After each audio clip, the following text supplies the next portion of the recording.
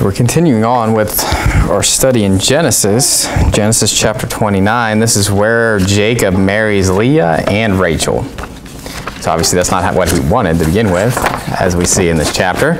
And so uh, starting there in uh, verse 1, so as we know, he was journeying uh, and he was sent out by his father and his mother to go find a wife of his brethren. So uh, he's going to Padan Aram or in Haran. So uh, a lot of times it's used those two different places. It's the same place, um, but uh, in uh, a lot, or sometimes it's like more of a distinct place. So if you think about, I'm going to Morgantown, but specifically I'm going to Westover, you know, something kind of like that, you know, where there's like subsets of a city or a place. So uh, in verse 1 there it says, Then Jacob went on his journey and came into the land of the people of the east. So where is he at? You know, obviously out to the east a little more, okay? So, uh, and then in verse 4 it tells us where he was because the people, when he went to this well, he asked the people who they were of or where they're from. And in verse 4 it says, And Jacob said unto them, My brethren, whence be ye? And they said, Of Haran are we. And so this place, Haran, is, I believe, where Syria is at. Or it's, it's a province of Syria. Because in Genesis 25, and just to kind of give you a, a little bit of backstory as far as what's Haran, why would his relatives even be there?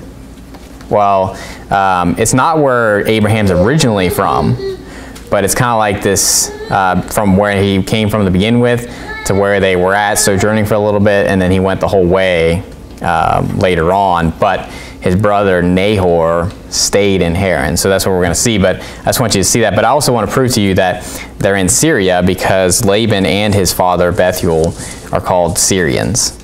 Okay. And so uh, in verse uh, chapter 25 verse 20, it says, And Isaac was 40 years old when he took Rebekah to, to wife, the daughter of Bethuel the Syrian a Padan Aram, a Padan Aram, the sister to Laban the Syrian. Okay, so both Bethuel, and if you remember, Bethuel was the son of Nahor, and obviously Laban is the son of Bethuel. So, and so Bethuel was Rebekah's father. So uh, that would be uh, Jacob's grandfather, and Laban would be his uncle. Okay, and so they're Syrians though, and they're a Padan Aram, and that's where he told them to go. And it's also called Haran.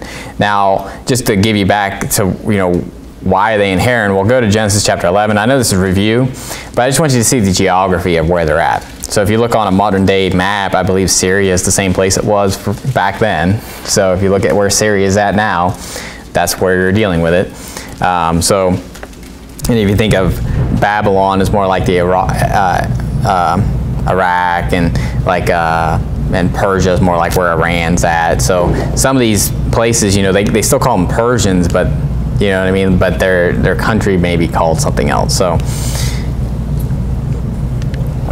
but in Genesis 11, verse 31, it says, And Terah took Abram his son, and Lot the son of Haran, his son's son. So don't let that confuse you, because Haran is a person too. But they're also going to go to a place called Haran. okay, so don't let that confuse you. Uh, but it says, And Sarai, his daughter-in-law, his son Abram's wife, and they went forth from or with them from Ur the Chaldees. So where they where was he originally from? Ur the Chaldees. Now the Chaldeans, what country were they of? Or where were the Chaldeans? What is that always always synonymous with Babylon? So they came out of Babylon. That's where that's where Abraham's family's from. But then they went to Syria before they came into Canaan. And so I just want you to see a little bit of that as far as that goes. And it, it says, um, uh, or the Chaldees to go into the land of Canaan. So that's what their mission was, was to go into the land of Canaan. And they came unto Haran and dwelt there. So they didn't make it all the way. And it says in verse 32, in the days of Terah were 250 or 205 years, and Terah died in Haran. So in Acts, I'm not going to go there for sake of time, but in Acts chapter 7, it talks about after his father died, he went into Canaan. Okay, and in, in chapter 12 and verse 4, it says, So Abram departed as the Lord had spoken unto him, and Lot went with him. And Abram was 70 and 5 years old when he departed out of Haran. So when his father died, He was 75 years old and he left Haran. But Nahor stayed. Notice who went with him Lot. And Lot's dad had already died. Haran had already died. And so uh, Haran died before they even went to Haran. Okay, so I don't believe that Haran had anything to do with Haran. okay, so um, you know a lot of times they name a place after somebody. I don't believe it's after Terah's son Haran. Okay, it's just a popular name, or maybe they named it because of that place. I don't know. But uh, but all that to say is that why is he going to Haran? Why is he going to Padan Aram? Because that's where Nahor stayed. So Nahor stayed there, so all his people were there, and that's where Rebekah, Rebekah came from Nahor. And so the servant went and, and went to the same place, and Jacob's doing the same journey, only he's going himself instead of Isaac going. And so, um, and also, Isaac didn't have to work for his wives. So you can see that Jacob's definitely uh, not getting the same blessing that Isaac got and we can see him reaping what he's sowing in this chapter, obviously. Um, but but that's a big difference between how that worked. I mean, Isaac just was at home; he didn't have to go find his wife. Someone got his wife for him, brought him back, and he didn't have to pay at all. so, um, but so I just want you to see that. Where are they at? They're at Haran. It's where Syria's at now. If you want to look at a map as far as where they're at, so he's not in, you know, in Canaan or where Israel would be, but he's outside of that to go find his wife. So, uh, but in, in, in verse 2 there, he goes, comes to this well in the field. It says in verse 2, And he looked, and behold, a well in the field, and lo, there were three flocks of sheep lying by it. For out of that well they watered the flocks, and a great stone was upon the well's mouth. And thither were all the flocks gathered, and they rolled the stone from the well's mouth, and watered the sheep, and put the stone again upon the well's mouth in his place. So what you see here is that there's this well, but they have a stone that's rolled on top of it to where you can't get into it. And so maybe they're just keeping stuff away from it, keeping animals out of it. I don't know exactly why, but um, but they, they, they rolled a stone on it when they're not using it, it looks like. And uh, and so anyway, uh, it looks like, and we'll see later on uh, as we read on, that all the all the shepherds pretty much had to come together at one time and roll this stone off this well. Okay, because that's what they're saying. All the flocks are gathered. Thither were all the flocks gathered. So at this time, at this point, there's three flocks there, but it doesn't look like all of them are there yet. And so uh, that's going to be important when we see what Jacob does, okay? because in verse 5, notice what it says. In verse 5 it says, And he said unto them, Know ye Laban the son of Nahor? And they said, We know him. And he said unto them, Is he well? And they said, He is well. And behold, Rachel his daughter cometh with the sheep. And he said, Lo, it is yet high day, neither is it time that the cattle should be gathered together water ye the sheep and go and feed them. So he's telling them, you know, why aren't you watering the sheep? You know, and, and so uh, it, it, it's it's high day. Why aren't you watering them, right? So, and then in verse eight, they give the reason why. It says, and they said, we cannot until all the flocks be gathered together until they roll the stone from the well's mouth then we water the sheep. Notice they roll the stone from the well's mouth. So it's a multitude of people that are rolling the stone. So this thing must have been pretty heavy. And so basically they're waiting. They're there. They, there's three flocks that are already there. They're waiting to water their sheep and they can't roll the stone away yet. And he's basically asking them who they are.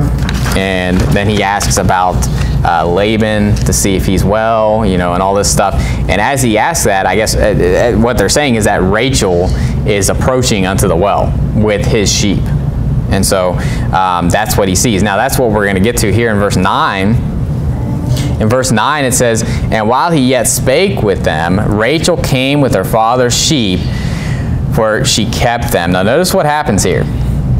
And it came to pass when Jacob saw Rachel, the daughter of Laban, his, his mother's brother, and the sheep of Laban, his mother's brother, that Jacob went near and rolled the stone from the well's mouth and watered the flock of Laban, his mother's brother. So what do you have here? They just had a whole discussion on why they can't water the flocks because they have to wait until all the flocks get there and then they roll the stone away. But, but Jacob, imagine this, it's basically he's showing off for Rachel. Now this is where, you know, a lot of, I've heard a lot of preachers talk about Jacob and be like, oh, Esau's the tough guy and Jacob is this weakling. Like he's just this kind of scrawny guy and, and it's, it's, it's like this typical like, um, reason to not want to be strong or something like that. And, and for some reason in Baptist churches, it's, it's it, you know it's a, it's a glory to, to, to be fat and be lazy and all this other stuff, or it's a glory not to be strong. No, I mean obviously, what's more important? You know, God, godliness is more important than bodily exercise. But you know, having physical strength, it says uh, the glory of young men is their strength. And so there, there's, there's something to be said about having strength, just physical strength. David had physical, physical strength. Jacob had physical strength. And so uh, he's showing that off. Okay? And so obviously, ladies, you know, you want a, you want a guy that's spiritually strong. That's first and foremost, right? But I don't think most ladies I mean, I've heard, I've, i remember girls telling me they don't like muscular guys, but I'm like, you're just lying to me. That's what I'm. That's all I can think of. Or they don't like guys that are strong or something like that. They like little weak guys. I'm like, I don't think so. I don't think that's the case.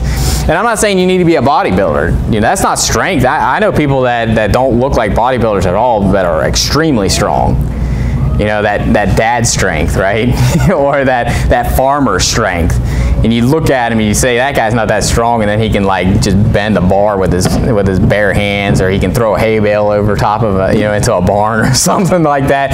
And so i'm not saying you got to look strong but there's a difference between looking strong and being strong. Same thing with women. Remember in uh, the book of proverbs in, in chapter 31 it talks about her strengthening her arms and strengthening her loins and so um, you can think about, I mean, carrying children and doing all that stuff. I mean, Holly has a baby in her arms at all times. I'm like holding one them. I'm like, I, am tired, you know, like it, and I go to the gym, you know, but it's just one of those things where you get stronger, your arms get stronger, even doing like, like sewing, knitting, all that stuff. I mean, there, there's a thing that just takes strength into your arms. Whereas if I tried to do it, I would literally be like, I can't move my hands because it's one of those things that you, you learn strengths and, and, and sometimes it's not always like, you know, your you know, like your bench press or something like that. And so there, there's a lot to be said about strength in, in our lives. And so uh, don't throw that out. You know, you want to find something, and it's, it's good for your health as well. Okay, uh, you're to feel better if, if, if, you're if you're in shape or you're, you're, you're stronger.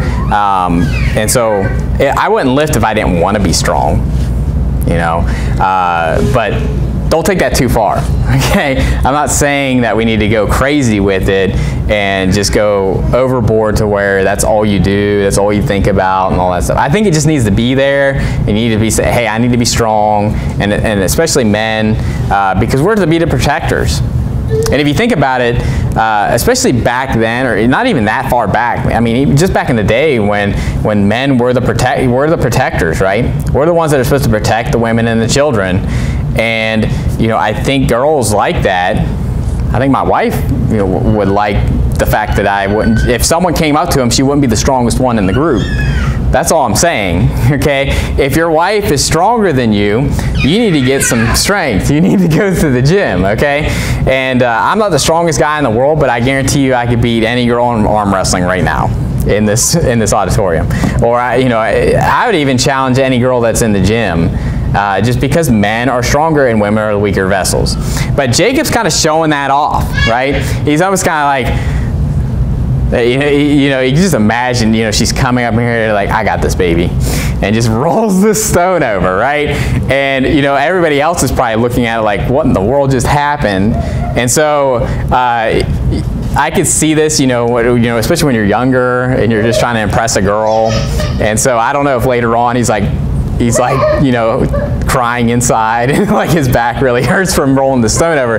But, uh, but no, I, I, I think that maybe just the pure adrenaline of seeing Rachel and and I can see this, you know, like you just you're so happy, you see her, she, you know, it's like love at first sight. That's what I see with this with with Rachel, is that he sees Rachel and it's like that's the one, you know, I want her, and he just like has this adrenaline in him to where he just like rolls the stone over. So, um, but that puts that out the window that he's a weakling, right? They just made this whole point about how all the flocks had to be there, and there was at least three there already. So that means three guys didn't think it, they had enough in them to roll that stone over, and he did it by himself. So uh, anyway, I think that's a cool story. Every time I read that, that's what I think about it. Him showing off the Rachel is just be like, I got this, you know, and, and just rolls the stone over.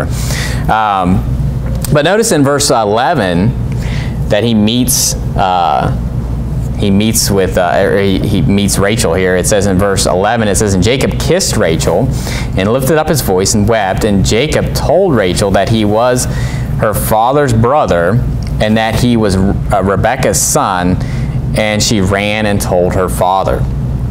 So when he kisses her, I don't believe this is like a romantic kiss like you'd see in a movie or something like that. He just like goes up and just kisses her like like Prince Charming or something like that. I believe this is just a greeting, okay? Um, because in the next uh, verse, Laban kisses him. So let's hope that that's not a romantic kiss there, okay? So I believe it's a greeting, okay? So don't don't get in here and be like, well, this is okay for me to kiss my you know, like ladies uh, or men to kiss your girlfriends, and you know, like it's good that a man not touch a woman, you know, before you're married. Um, I'm not going to tell you that kissing is a sin, but I'll say this, you know, that if you don't kiss, then other things aren't going to happen. Okay, so it's better just to, to stay away from that kind of contact and all that stuff. Um, obviously, kissing them on the cheek isn't wrong because the Bible says, actually go to 1 Peter chapter 5. This isn't the only place it's mentioned, but there, there's a lot of there's places in the New Testament where it talks about greeting somebody with a, a kiss of charity. Okay, and so this isn't our custom here, so don't start kissing me on the cheek. okay, so um, I'm not saying it's wrong. It's just that that's that would be strange, right? Uh, but there's cultures that have that custom where you kiss them on the cheek, and it's nothing. There's nothing nefarious about it. There's nothing queer about it. It's just how you greet somebody. Um, but in, the, uh, the last verse of First Peter, so this is the send off. It says in verse 14, Greet ye one another with a kiss of charity. Peace be with you all that are in Christ Jesus. Amen. And so obviously their custom there was to, to greet someone with a kiss. Okay. And obviously I believe it was on the cheek. Okay. Um, on the lips would be a little weird. Um, but, uh, but yeah, we're not starting that custom here, by the way. But all that to say is that I believe that's what that's talking about, is greeting someone with a kiss of charity.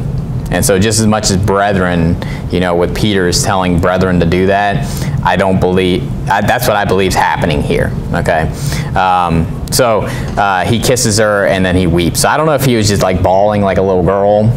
I don't think so, right? Uh, I think it was more just like tears of joy, um, you know, that he had found her, that he found Laban's daughter. Um, but again, in verse 13, Laban comes out and embraces him and kisses him. So in verse 13 it says, And it came to pass when Laban heard the tidings of Jacob, his sister's son, that he ran to meet him and embraced him and kissed him and brought him to his house and he told Laban all these things. So obviously we see that this is, you know, just a, a kiss of charity. So it's not something romantic. Um, but again, even if it was, just because Jacob did it doesn't mean it's right. okay, um, but I just think that that's probably what it was. I don't think there was anything bad about it. Um, he was just happy to, to see her, to meet her, and um, and, and he kissed her. So, uh, but but notice here uh, that when Jacob comes to Laban's house, he's telling him all things. So he's just telling him everything that's going on. He actually stays with him for a month and is working for him for free. And so something I never really noticed, I was actually listening to Pastor Jimenez's sermon on when he ordained uh, Pastor uh, Aaron Thompson now.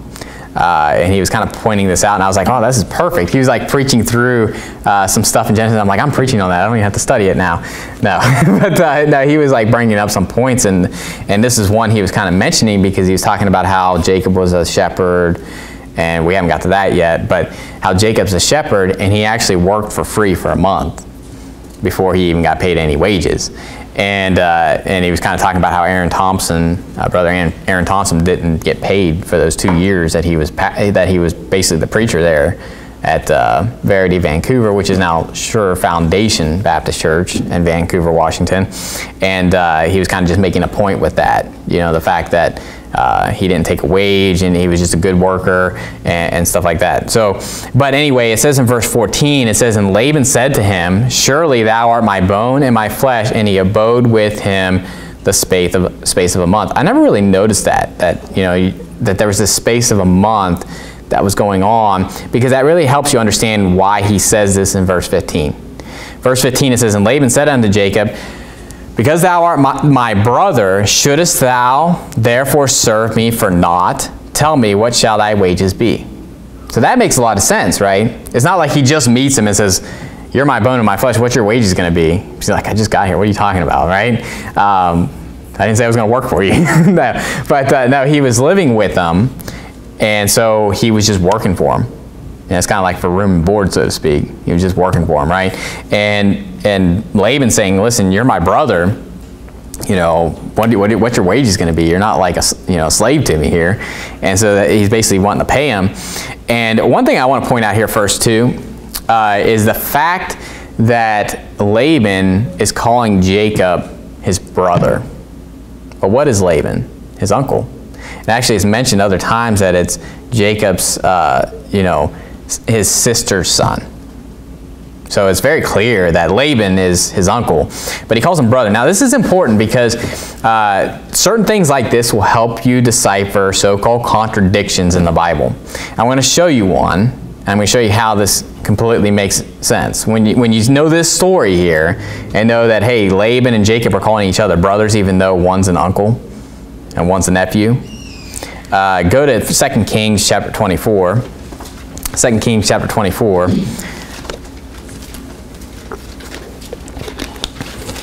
There's actually a couple things in this chapter I'm going to show you that, that helps you decipher some harder passages. Or, you know, like in this case, it's a so-called contradiction.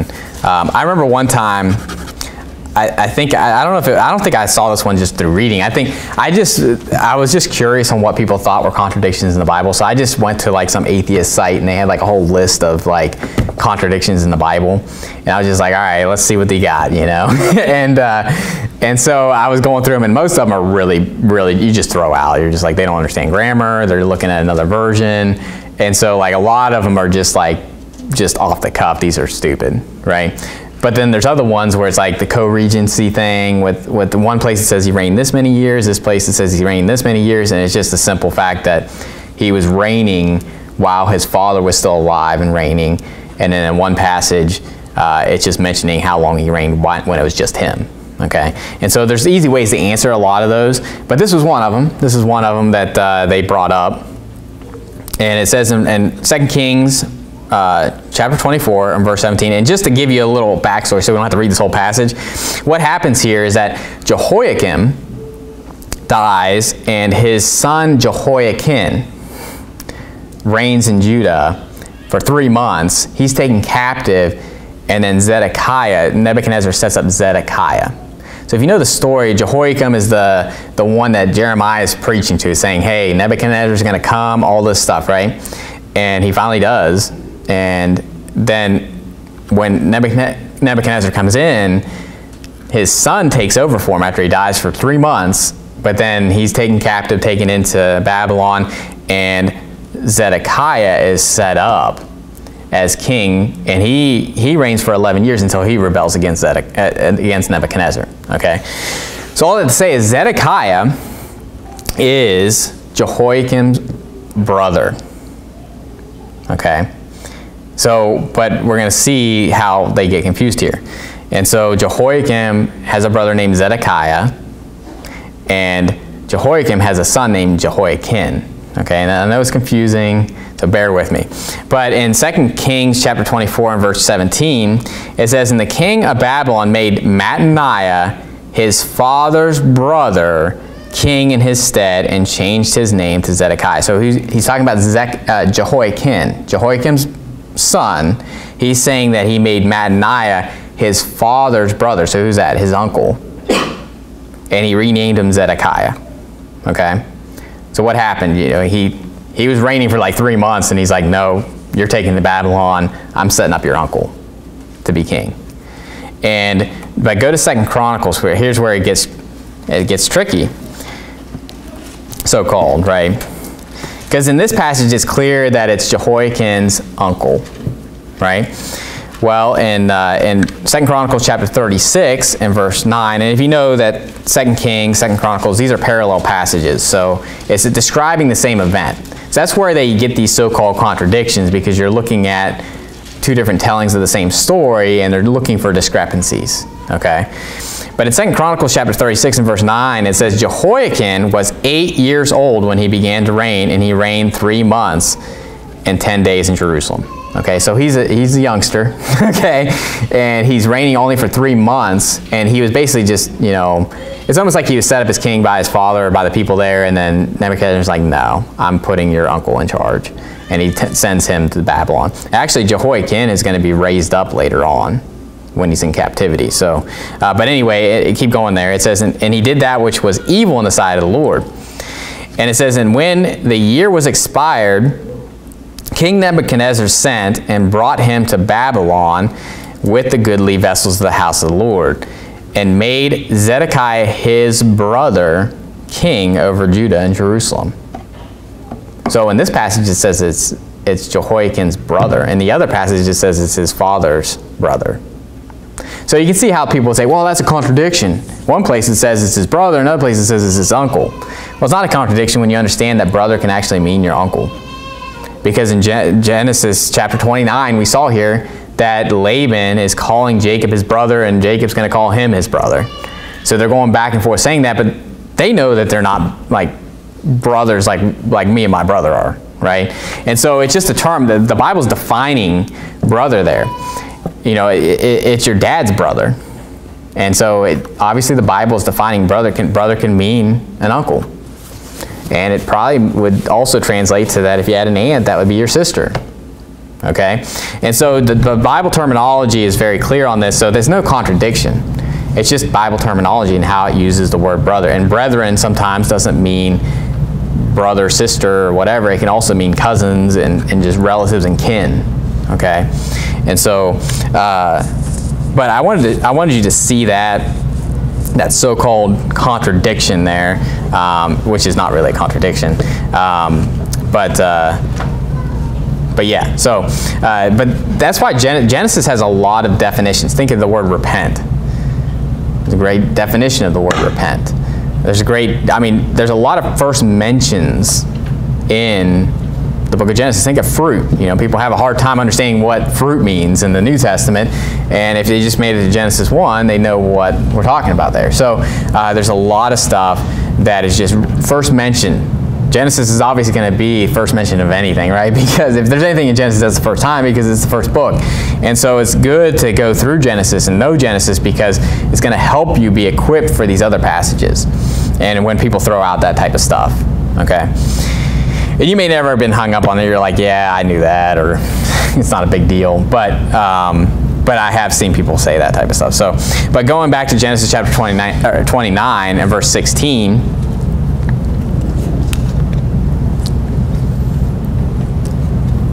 So uh, Laban is asking Jacob, what are your wages going to be? Well, what's his answer? It says in verse 16, and Laban had two daughters. The name of the elder was Leah, and the name of the younger was Rachel. Leah was tender-eyed, tender-eyed, but Rachel was beautiful and well-favored. And Jacob loved Rachel and said, I will serve thee seven years for Rachel, thy younger daughter. So that's his wages. He says, I want your daughter. okay, so, uh, so he had two daughters, Leah and Rachel. And Leah was tender-eyed, tender-eyed and Rachel was beautiful. So, um, I think tender-eyed is like the nice way of saying she wasn't that beautiful, I guess. Um, but uh, so obviously Jacob's looking on the outward appearance. I'm sure that, I mean, if you think about it, when Rachel came up to water her flock, what else could he see besides her appearance?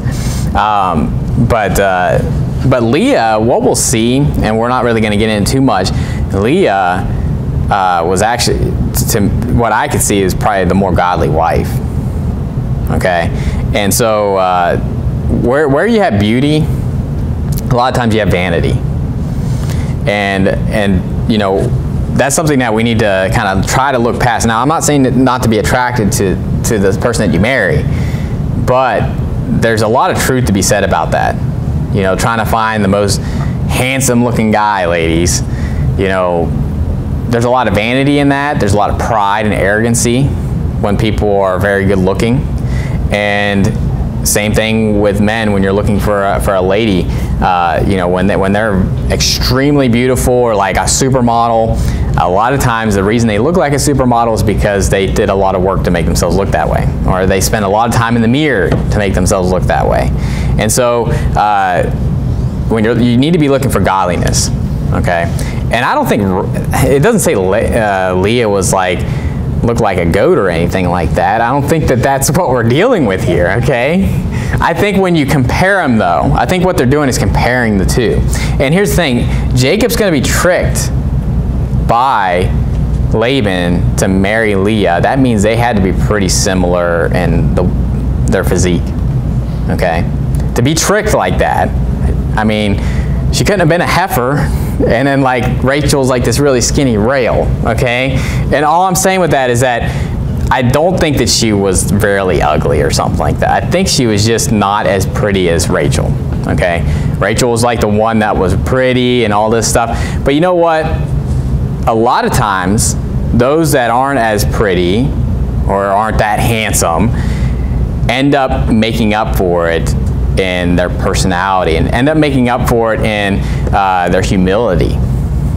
Because people that have everything, and I've preached on this before, you know, when I, when I grew up in, in, uh, in middle school and high school, I was always the shortest person. I couldn't play sports. I could only wrestle because, you know, there was weight classes and actually being short was an advantage because you're low, low center of gravity, you know. Um, and that type of stuff, though, going through that and, and not having that, that high regard from everyone around you helps keep you humble, right? It's hard to be arrogant when not everybody like you know when, when the girls don't all like you or you're not the most popular person in school and all this stuff and if you imagine leah probably grew up that way rachel's always the pretty one and which would make her more humble and uh, we'll see a story with Rachel. I don't want to, you know, get into it, but we'll see a, a, story with Rachel that she was not the most godly one. Okay, and so, but here's the thing: uh, I, we need to not be looking at appearance when we're looking for a spouse or just looking at anybody for that matter. Uh, it's what's in the heart, and so, but he's going to be tricked here, and uh, in, in verse uh, in verse 18 it says, I will serve seven years for Rachel. And Laban doesn't just doesn't say anything about the fact that he just kind of goes with it. okay? Because if he would have said, I mean, imagine that, that Jacob would have been on guard a little bit if he's like, well, I don't really want to give you Rachel. I want to give you Leah because she's the oldest. And so he doesn't say anything. So Laban's very smart about this. He, if he's going to trick him, he's just going to go along and think that everything is just the way it's supposed to be. And uh, in verse 19 it says, And Laban said, It is better that I give her to thee than that I should give her to another man. Abide with me. And Jacob served seven years for Rachel, and they seemed unto him but a few days for that for the love he had to her. So that always strikes me right there where where it says that they were about a few days. Seven years. That's not a short period of time.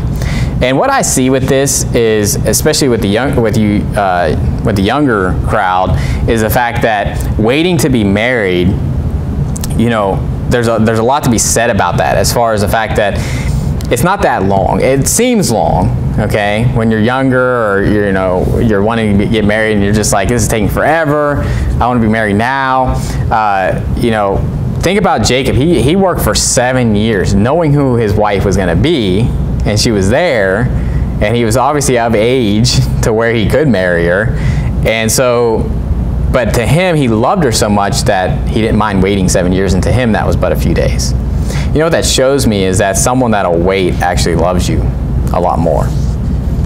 Okay, and go to go to Hebrews chapter uh, chapter 11.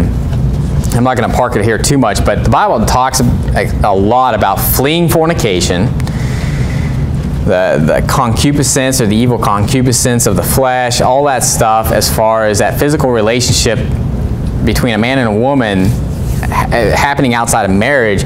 We need to, you need to flee that but you need to you need to be looking at the future. You need to be thinking about the future, and that's what I see with Jacob, is that he was working these seven years, but he was looking at the prize. He was looking at like the goal, and to him, he knew that was he knew it was going to happen. He just had to he worked through it. It's going to happen, all that stuff, and to him it was but a, but a few days. But if you're just dwelling on it, do you see? You see, when you look ahead, it's kind of like uh, if you ever run before. Okay, I don't like running, but I do run. Okay, and it's better when you look further ahead than when you look closer. Because when you're looking closer, you're just like, ah, oh, you know, like you're just thinking about how you're not there. But if you look ahead, you can kind of just keep that eye on the prize, not think about it. You know, with running, I just have to not think about it. When I, a lot of times I'll run throughout the week and it's just me running or, uh, but on Fridays, Dave will lift with me, Dave Gandy. And uh, we'll run and we're always just like why is it so much easier to run when we're running together? Because we're always talking. Okay so and we're talking which is ridiculous too because you know i'm not a good runner so i'm always just trying to breathe. Um, but uh, but when we run together why is it? Because we're not thinking about it we're talking about some false doctrine somehow out there. We're talking about whatever. Gossiping, no. Uh, no we're, we're usually just talking to each other, catching up, whatever, just talking about different things. But before we know it, we're done. I'm not even winded. And you're just like, wait, what in the world? I was talking and I'm not winded. I'm, I'm usually when I'm running, I'm running a shorter distance by myself and I'm winded and I'm not talking. Okay? Anybody knows if you're running, it's hard to talk, right? Because you're getting, you're, you're just wanting to breathe. And so why is that? Because you're not thinking about it. You're not dwelling on it. So Jacob wasn't just like, I want her now. I want her now. I want her now. Does that make sense? I want this now. He was thinking more in the future and not on the momentary state, okay? In Hebrews chapter 11 and verse 24, I think about this when I think about fornication, or just, obviously this is sin in general, okay? But think about it, the, the heart of Moses, okay? And, and verse 24, so Hebrews 11 verse 24 says, By faith Moses, when he was come to years, refused to be called the son of Pharaoh's daughter, choosing rather to suffer affliction with the people of God than to enjoy the pleasures of sin for a season. Esteeming the re reproach of Christ greater riches than the treasures in Egypt, for he had respect unto the re recompense of the reward. Now, obviously, this is what we think about in the Christian life, right? We, we're supposed to be focused on things that are eternal, not on things that are temporal and not on sin that's, that's a momentary pleasure. We need to be thinking about the pleasures that will be in eternity and keep our focus on eternity. And when it comes to fornication, I see that because fornication is just a pleasure, pleasure for the season. And sin will always take you further than when you want to go and make you pay more than you want to pay. And so it's not going to be worth it, and it's only for a moment. It's only for a short time. And marriage is for life. So you have your whole life to enjoy uh, being married and, and, and you know all that stuff with your spouse, but you need to you need to flee fornication and have that heart of Jacob where he he loved her, and it was just but a few days to him, even though it was seven years. And so uh, you may say, well, may, I didn't get married until I was 29. I'm not recommending that, okay? But all I'm saying is that. Uh, you know, don't don't lose hope. You know, if you're looking for a spouse or anything like that, um, you know, find the right one. because you're going to be married to him for the rest of your life. I mean, that's the that's the plan, right? And so you need to have that in your mind that uh, you know we're to be together for for for life, and you know just think about that. So don't make some rash decision. I'm just to get married to get married. Okay. Obviously, you know it's better to it's better to get married than to, to you know commit fornication. Um, but at the same time, you know, if you have the opportunity, you have the choice and all that stuff, you want to make the right choice and find the right person uh, to marry. So, but uh, going back to Genesis chapter 29, that's what I see with when I see that. I see that he really did love Rachel, and he wasn't he wasn't just focused on on on that physical act. He was he was focused on he wanted her to be his wife, and he was looking into the, the future. He was looking at the light at the end of the tunnel and it was snatched away from him later on here. Uh, but in, uh, in, in chapter 29, verse 21, Laban is going to supplant Jacob. So if you remember what happened in chapter 27, Jacob supplants his brother Esau and steals his blessing. And it's coming around. And this is what we see. So he's, not, he's first of all having to work for his wife, which Isaac didn't have to do. And now he's going to be beguiled into marrying the wrong daughter. And so in verse 21 it says, And Jacob said unto Laban, Give me my wife, for my days are fulfilled, that I may go in unto her. And Laban gathered together all the men of the place and made a feast. I think that that's the key to understand what's probably going on here. And it came to pass in the evening that he took Leah his daughter and brought her to him, and he went in unto her. So this is why I think that they're very similar. It's kind of like Jacob and Esau. I don't think that there's that. They were both probably strong guys. Because for, for Isaac to come up to him and like hug him and embrace him and hold him and stuff like that, he couldn't have been this rail. And then you got Esau who's like this this beast, right? Now obviously he was hairy. That was the big thing. But that, I think that's the pretty main big main difference between them. One's hairy, one's not, and but the, the physique is the same.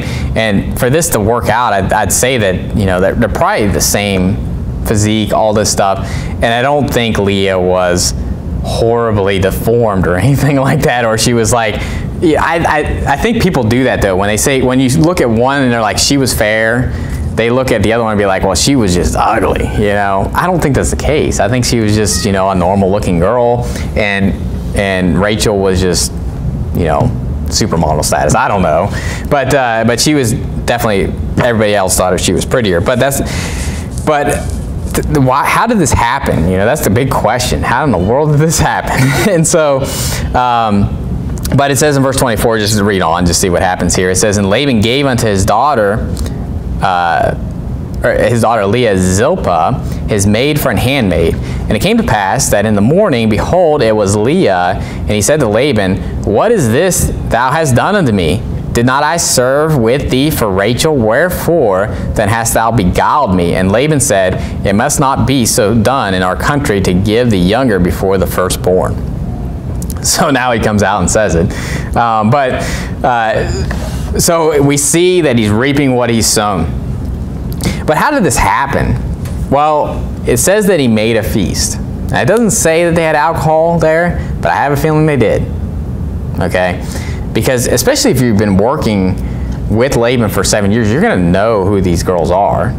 Right? It's not like I, I don't think that he kept them away from them. You know, I'm sure he probably was around them, talked to them, all this other stuff. So I have a feeling that, you know, this is just my opinion on this. I believe there was alcohol involved and he was, you know, probably drunk. I don't know. But to the point where his senses weren't all there.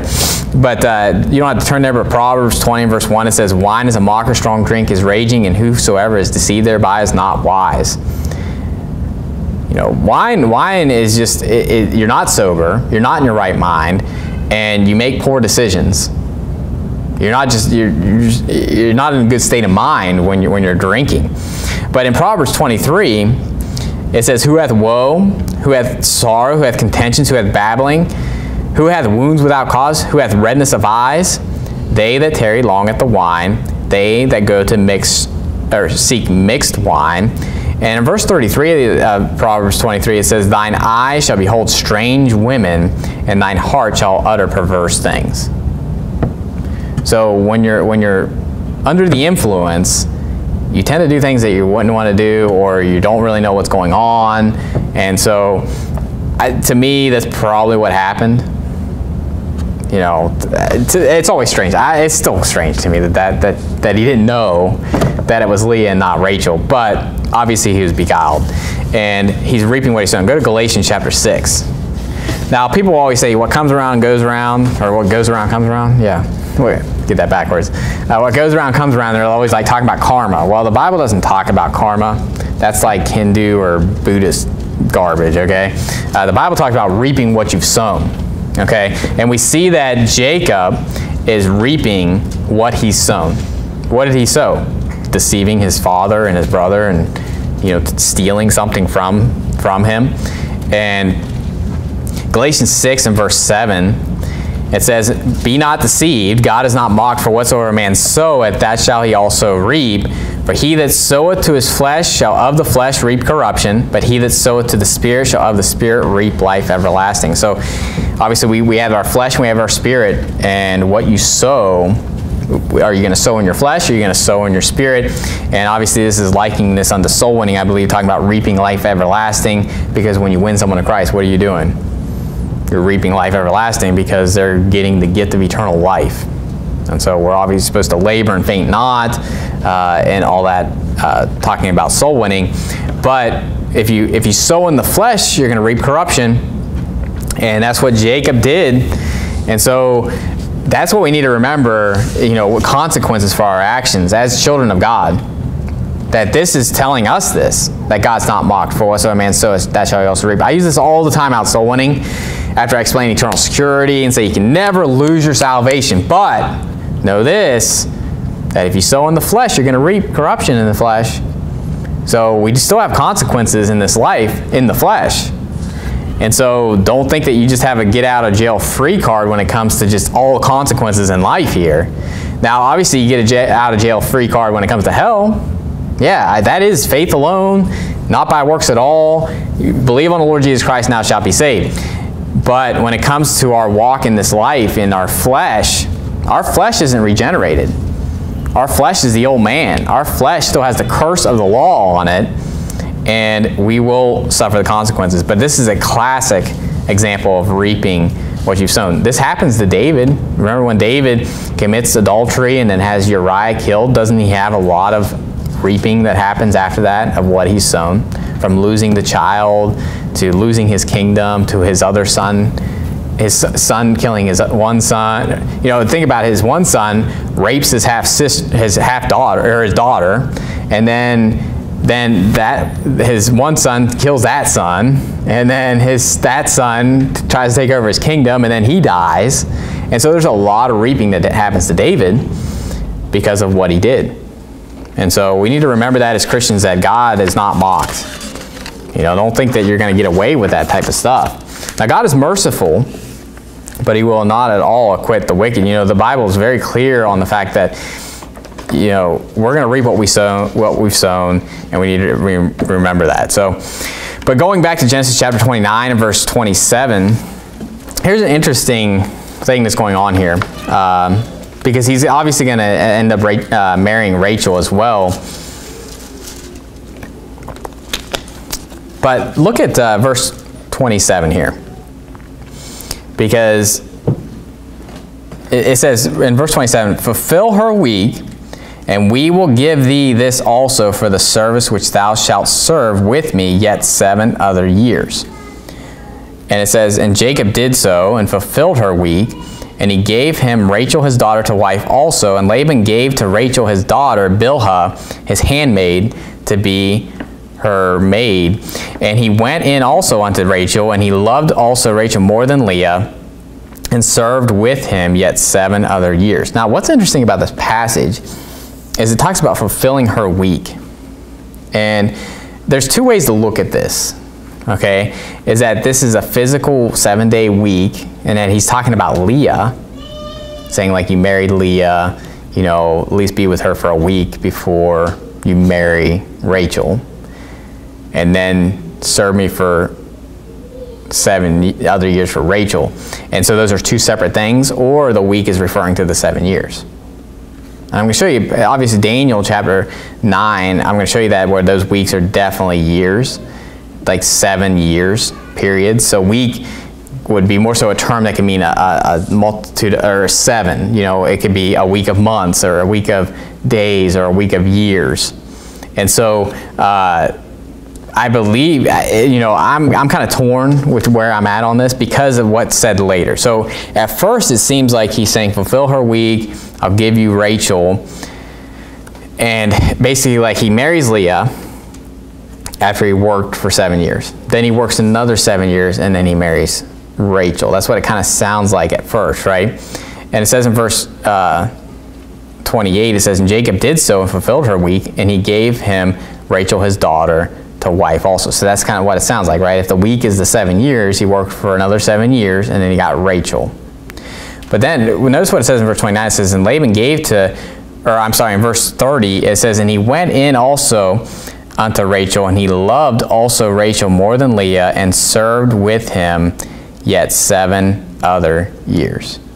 So now it looks like he got Rachel before he served those seven other years.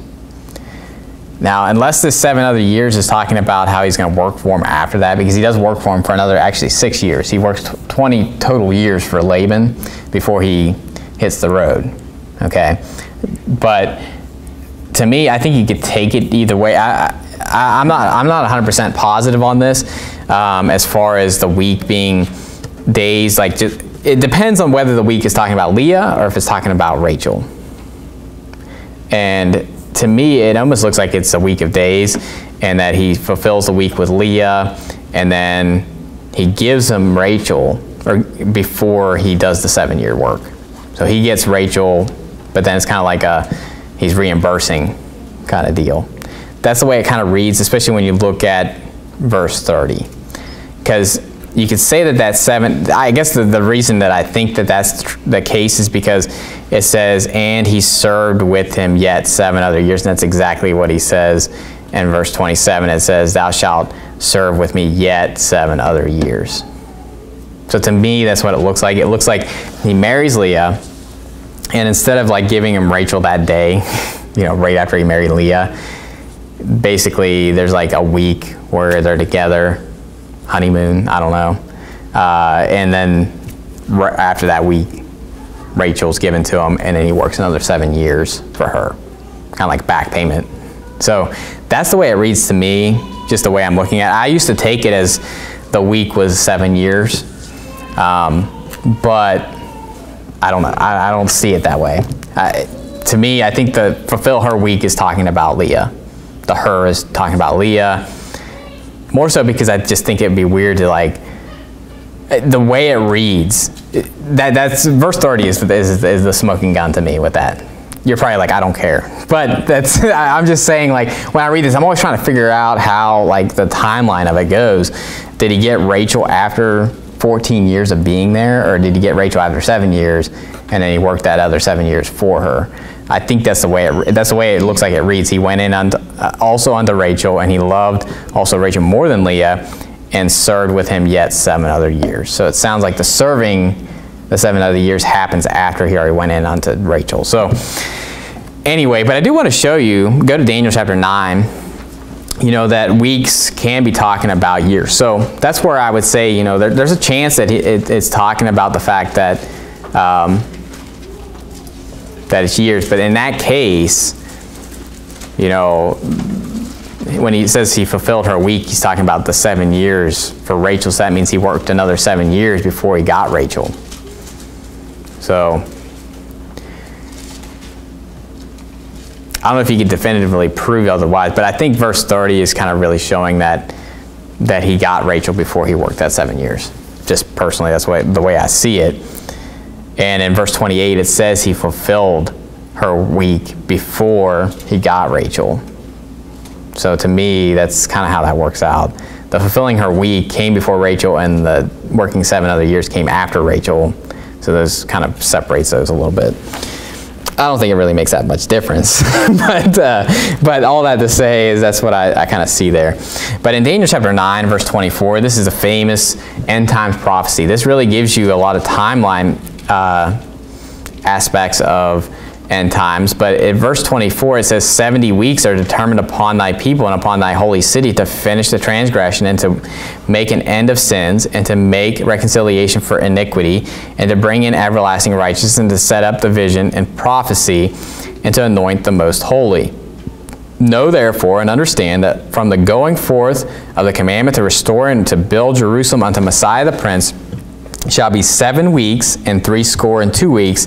The street shall be built again, and the wall even in troublous times. And after three score and two weeks shall Messiah be cut off, but not for himself. Now, what I want you to see there is that, you know, whether this is, a, I, I talked about this in the age of the earth, that this is probably the commandment to go rebuild the wall with Nehemiah and not the temple, uh, because it's talking about rebuilding Jerusalem and in troublous times, and obviously with Nehemiah there was troublous times. They had to like have a sword, and and they, they worked with one hand and they had the sword in the other hand, right?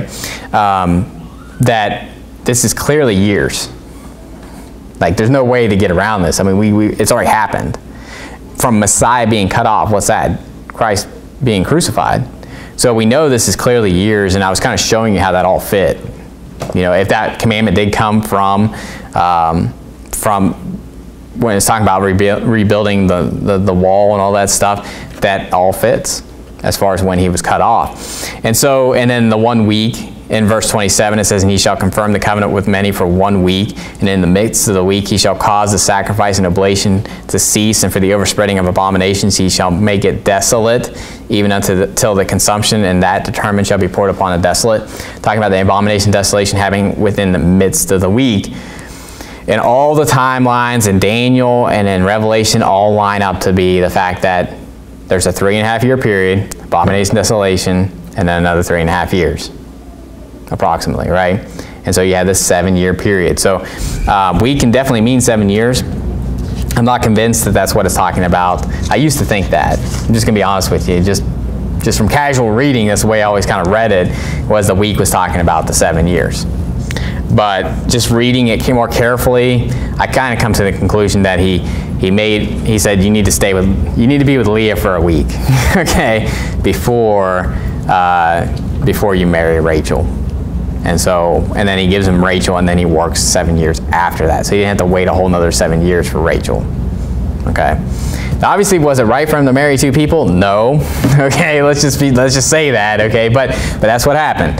And so the, the end of the chapter here is where Leah gives birth to, to the four uh, first patriarchs of, of Israel. Um, and so I just want to read through this because what you'll see here is that when they when when they have children, when they give them names, they have meanings to the names. And so if you want to know what these names mean, just look at the passage of when they're born usually. It'll, it'll talk about that. So in Genesis 29 verse 31 it says, And when the Lord saw that Leah was hated, he opened her womb but Rachel was barren. And Leah conceived and bare a son, and she called his name Reuben, for she said, so notice that's why he's calling him Reuben, because she said this, what? Surely the Lord had looked upon my affliction. So you can see what Reuben is meaning. And I'm not saying I understand exactly like a, a short phrase of what, I mean, I, I, don't, I don't think that if you were to say his name, that's what it, like Reuben means, surely the Lord has looked upon my affliction. And you know the Puritans, this is a funny thing anyway. The Puritans, um, you know the ones, the pilgrims that came over across on the Mayflower and all that stuff, they, they were all about not using words, you know, like they would literally, instead of naming someone Reuben, they would say, you know, surely the Lord hath looked upon my affliction. Be like, surely the Lord hath looked upon my affliction. Come eat. Like they would literally name people like what that name meant. And so it's really strange, okay? The Puritans were the ones when they were, uh, uh, the Gideon Bible, or the, the, the Puritans were the ones that when they were translating the King James Bible, they didn't like the word church. They wanted to be congregation, like everywhere. Okay, they were against like words like that or you know they wanted it to be spelled out. They didn't like transliterated words. They wanted stuff to be just set out what what it's like. So that would be ridiculous. okay, when you think about the, what these names mean sometimes. So it says in verse 33. So Reuben was born. and it says, uh, it says, and she conceived again and bare a son, and said, Because the Lord hath heard that I was hated, he hath therefore given me this son also, and she called his name Simeon. So you can see in there what that's talking about, about being hated, and or being, you know, there's probably, not necessarily meaning like, like I was hated, that's why I was named Simeon, but more so like the Lord uh, heard that I was hated. The Lord heard me, or something like that. Um, in verse 34, it says, And she conceived again and bare a son, and said, Now this time will my husband be joined unto me, because I have borne him three sons. Therefore was his name called Levi. So I don't know if Levi means like joined or something like that. I'm not saying I know the answer, okay, what, what the, their names mean. I didn't look it up in Hebrew and look in the Greek or the Hebrew concordance.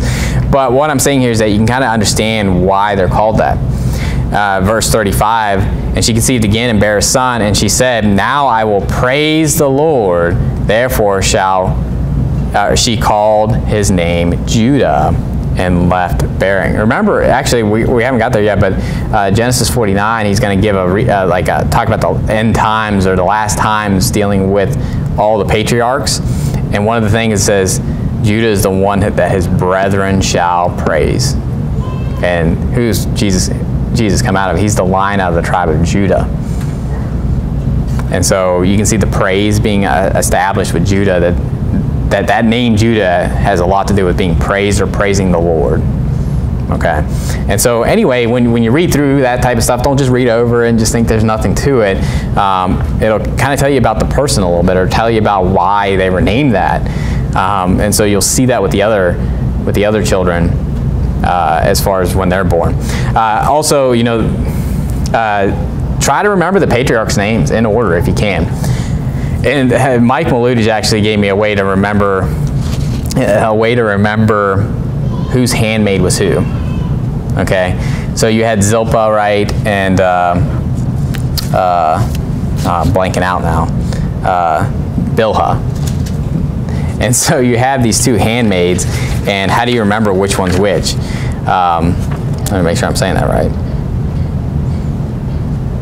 Yeah, Zilpah, yeah. Zilpah and Bilhah, right? So Mike told me, he's like, the way I remember it is R&B, like R&B music, and lazy, like being lazy.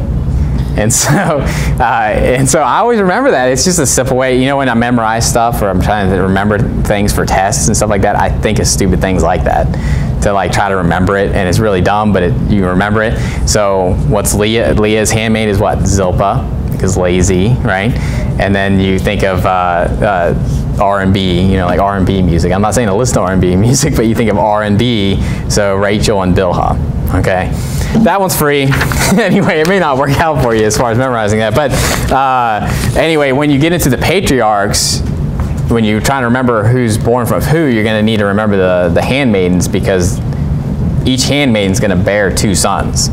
And so, you know, try to remember who's who bear who and stuff like that. Um, you know, just simple Bible knowledge type stuff uh, is always good to have. So let's end with a word of prayer. Dear Heavenly Father, Lord, we thank you for today and thank you for this passage and, and Lord, just a lot of good things that we can see in here, uh, things to learn from things to do, things not to do. And Lord, there's always good information and just little keys to understand uh, other passages in the Bible. And Lord, just pray that you be with us as we go back to work. I pray that you to help us to bring glory to your name. I pray for soul winning opportunities. And Lord, we love you and pray also in Jesus Christ's name. Amen. Let's